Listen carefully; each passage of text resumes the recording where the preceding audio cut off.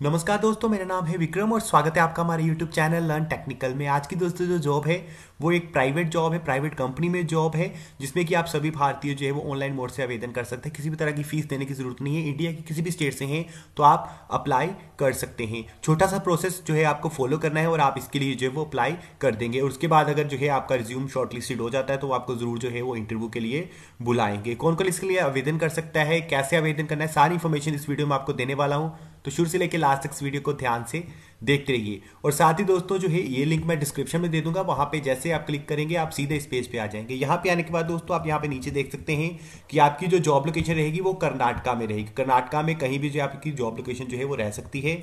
कौन कौन अप्लाई कर सकता है? अगर आपने इलेक्ट्रॉनिक्स इंजीनियरिंग करी हुई है BE B tech M E M tech तो आप इसके लिए जो है अप्लाई कर सकते हैं। सेवेंटी परसेंट मार्क्स हैं तो अप्लाई कर सकते हैं। साथ में आपको जो है ये वाले स्किल्स होने चाहिए आप में, तभी आप इसके लिए आवेदन जो है वो कर सकते हैं। आवेदन करना जो है वो बड़ा आसान है। इंजीनियर ट्रेनिंग की ये पोस्ट है, आप यहाँ पे जो है वो देख सकते हैं।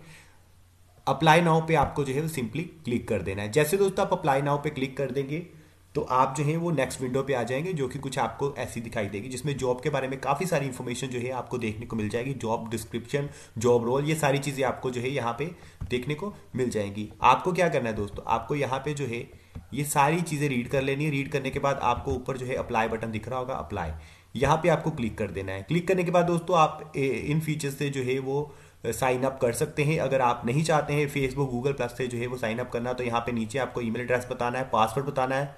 और दोबारा वही पासवर्ड लगाइएगा और क्रिएट कर लेना अकाउंट और उसके बाद आप अप्लाई कर सकते हैं इस इंजीनियर ट्रेनिंग की जॉब के लिए यूटीसी एरोस्पेस सिस्टम में सो ऐसे दोस्तों आप अप्लाई कर सकते हैं इस प्राइवेट जॉब के लिए। So thank you very much दोस्तों इस वीडियो को देखने के लिए। आशा करता हूँ आपको वीडियो पसंद आई होगी, समझ आई होगी। वीडियो से रिलेटेड कोई भी क्वेश्चन है तो कमेंट सेक्शन में पूछ सकते हैं। चैनल को सब्सक्राइब करें। मिलते हैं नेक्स्ट वीडियो में।